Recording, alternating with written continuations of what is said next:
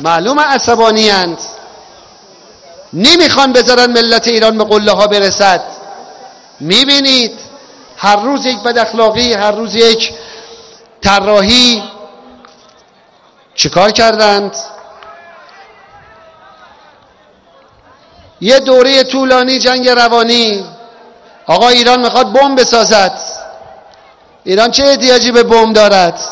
ایران تا این مردم رو داره بمب می‌خواد چه کار کنه؟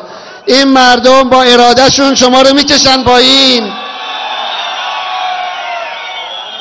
بمب مال آدمای ترسوه مال آدمای دروغگوست مال آدمای آدمکش است مال آدمای بی فرهنگ است. ما با اتم می‌خوام چه کار؟ ما با منطق با منطق ملت ایران شما را با منطق از اوج قدرتتون به زیر خواهد کشید. اومدن به قول خودشون سنگینترین تحریم ها را علیه ملت ایران که بازار ما رو به هم بریزن اقتصاد ما رو متوقف کنن. نذارن ما این حرکت پرشتاب رو جلو برویم. بعضی هم در داخل با آنها دارن همراهی می‌کنند خیال کردن می‌تونن ملت رو متوقف کنند. یا کاری کنند که در مردم یأس به وجود بیاد و پیوندهای الهی بین ملت سوس بشود. اشتباه می‌کنند.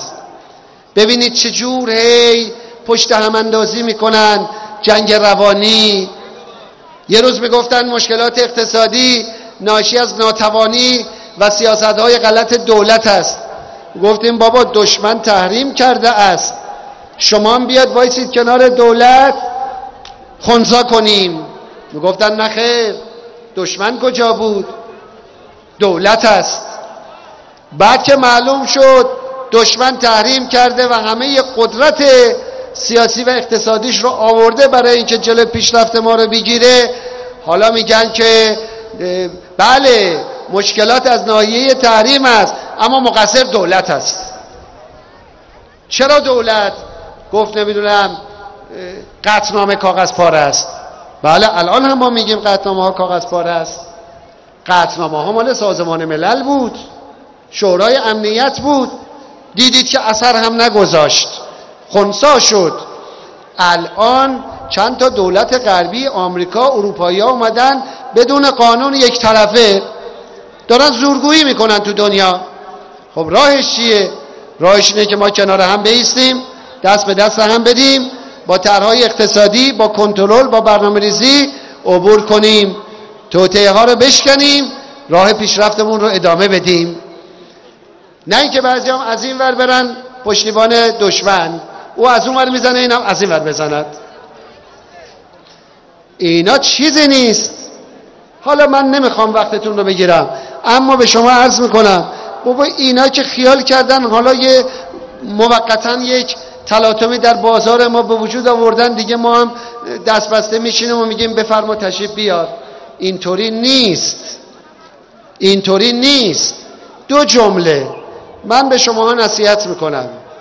دست از خباست و بد اخلاقی بردارید. هم بیرونی ها هم دنباله های داخلیشون. بیاد کنار ملت در خدمت ملت همراه ملت احترام بذارید. با هم همکاری می‌کنیم گفتگو می‌کنیم منطق عدالت احترام برای همه. اما اگر خیال کردید با این حرکت های مذبوحانه می‌تونید جلوی ملت رو بگیرید اشتباه می‌کنید.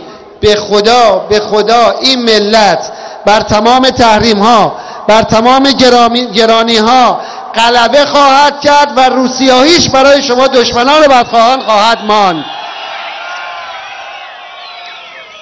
ملت دستش شکسته نیست. دستش بسته نیست. حالا موانعی هست انشالله یه روزی من خواهم گفت به شما. ولی به سرعت کمتر از سه چهار ماه پنج ماه. این بساط این بداخلاقی ها به فضل الهی از ایران عزیز جمع خواهد شد. اونا بخوان کاری کنن که این کشور ندرخشد. امسال سال حماسه سیاسی حماسه اقتصادی است. مقدمه حماسه اقتصادی که حل همه این مشکلات است حماسه سیاسی است. حماسه سیاسی اوجش انتخابات است. انتخابات متعلق به ملت است. حق ملت است. اعمال اراده ملت است. قانون اساسی جمهوری اسلامی مرام امام نظر رهبری عزیز این است که اراده ملت باید حاکم بشود. بدون هیچ مانعی آنچه که ملت می‌خواهد.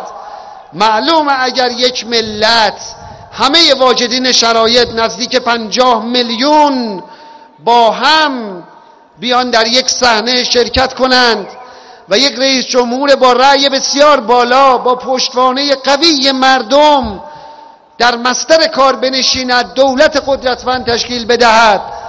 دیگه چه کسی می‌تونه کارشکنی بکنه؟ چه کسی می‌تواند علیه ملت ایران توطعه بکند؟ به خدا یک حضور پررنگ یک انتخاب بزرگ همه این مشکلات رو برطرف خواهد کرد. البته دولت به شما عرض کنم دولت تا ثانیه آخر تا نفس آخر با افتخار در خدمت شماست. برای شما کار می‌کنه نوکری شما رو می‌کنه و بهش افتخار هم خواهد کرد. ما عبور خواهیم کرد. یه ملت بزرگ ریشهدار در تاریخ.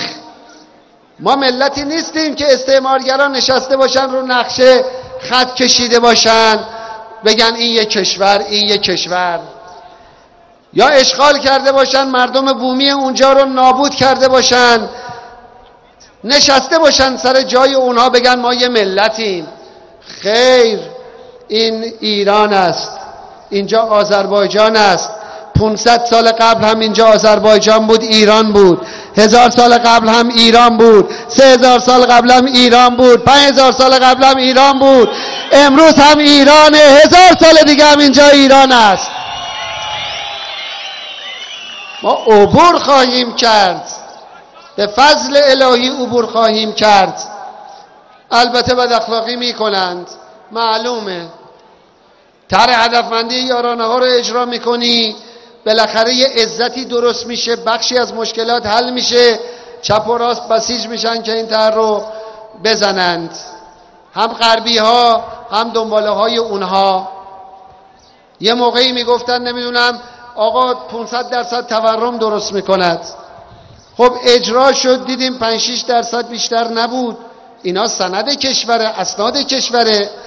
حالا تحریم دشمن و توته های دشمن و بازی با ارز و بازار ارز رو میای خراب می‌کنی سر هدفمندی. یا من دیدم یک کسی هی تکرار می‌کنه میگه اگر این هدفمندی کامل اجرا بشود بنزین میشه هفت هزار تومن. آخه بابا دروغ هم می‌خوای بگی یه جوری بگو که بالاخره چی میگن؟ ما اگه صد درصد هدفمندی رو اجرا کنیم بنزین تازه میشه دو هزار تومن. بیش از اونو می‌ذاریم تو جیب مردم. یا دیدم یه کسی پیروز میگه که آقا 45 تومن دادی به مردم 90 تومن از جیب مردم برداشتید والا ما بر نداشتیم شما از جیب مردم برداشتید بذارید یه گزارش بدم برای ملت ایران. این همه مخالفت می‌کنن. اقتصاد ایران در سال هزار و دیویست هزار میلیارد تومن گردش مالی داره. در سال کل یارانه ای که ما میدیم چهل و یک هزار میلیارد تومنه. ده هزار میلیارد تومن تقریبا نه هزار میلیارد تومن از قدیم تو قانون بودجه بوده. مثل یارانه نان یارانه برق یارانه نمی‌دونم شیر یارانه نهاده های کشاورزی. نه هزار تاش از اونجاست. سی و دو هزار تاش هم از خود مردم می‌گیریم. یعنی از اونایی که مصرف زیاد می‌کنن اونایی که درآمدشون بالاتر می‌گیریم مساوی تقسیم می‌کنیم توی مردم. خب این کجاش اشکال داره؟ کجاش واقعا اشکال داره؟ شما تحریم رو بذار کنار. تحریم و بازی با بازار ارز رو بذار کنار. بعد این پروژه رو اجرا کن بعد ببین دیگه فقیری در کشور باقی میمانه. خب یه کسی که در ماه داره دو هزار لیتر بنزین مصرف می‌کنه اونم میده 400 تومن. یه کسی که اصلا مصرف نمی‌کنه یا 50 لیتر مصرف می‌کنه اونم میده 400 تومن. خب چرا باید اینطور باشه؟ خب اون هزار تومن خودشو بده. ما با تفاوتش بیاد تو جیب همه تقسیم بشود. این خیلی منطق ساده است که کجای این تورمزاست ما داریم افرادی که شش هزار متر مکعب در ما گاز مصرف می‌کنن. نوش جونشون. خب پولشو بده. پولشو بده. ما بیام در آذربایجان. مردمی هستند. که برای اینکه یه مزرعه را بندازن یه گاوداری یه مغازه را بندازن. نیاز دارن. خب پول حق مردم بدیم. جیب خودشون. مردمی هستن اینجا در ما 50 متر مکعب مصرف می‌کنن. 70 متر.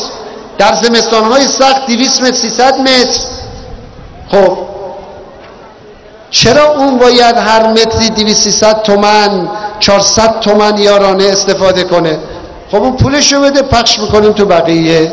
این خیلی منطق ساده است. منطق ساده است. اما هی مخالفت مخالفت. حالا که شنیدم گفتن باید یه خوردهشو کم کنیم. چی رو می‌خوای کم بکنی؟ والا این یارانه ها مال مردمه. هیچ کس نمی‌تونه یک قرونش هم کم بکنه. اما یه نکته هم می‌خوام به دشمنان بگم. شما به آخر خط رسیدید.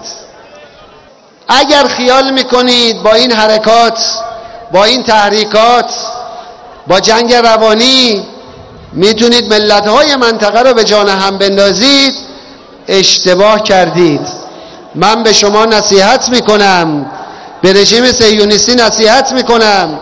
دست از خباست بردارید دست از توطعه بردارید. بیاد در کنار ملت ها یار ملت ها همکار ملت ها باشید. برید تو زرزمین خودتون. اگه می‌خواد خدمتی بکنید به مردم خودتون خدمت بکنید.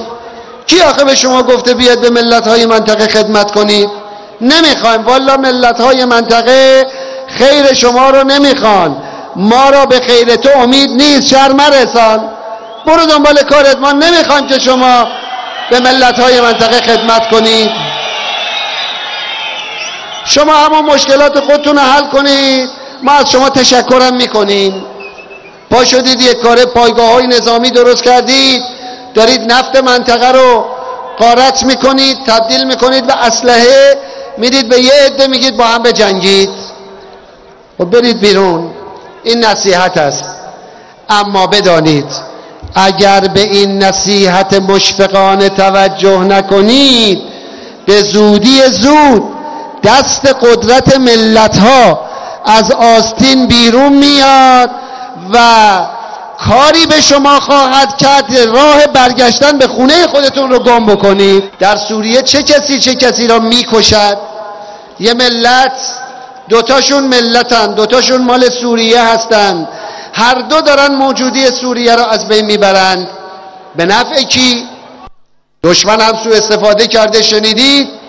اومده بمباران کرده سوریه رو.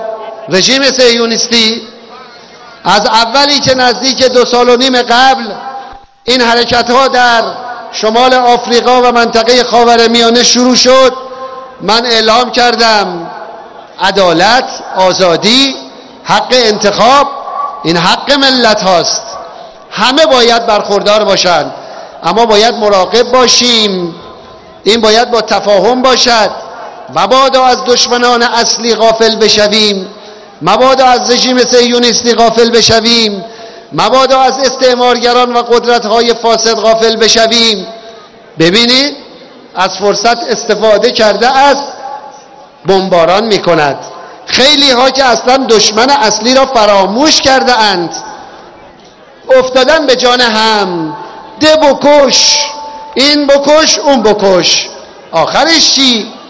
به کجا می‌خواید برسید؟ خب بنشینید با هم تفاهم کنید انتخابات آزاد بذارید. ملت هرچی انتخاب کرد همه تابع رأی ملت باشند.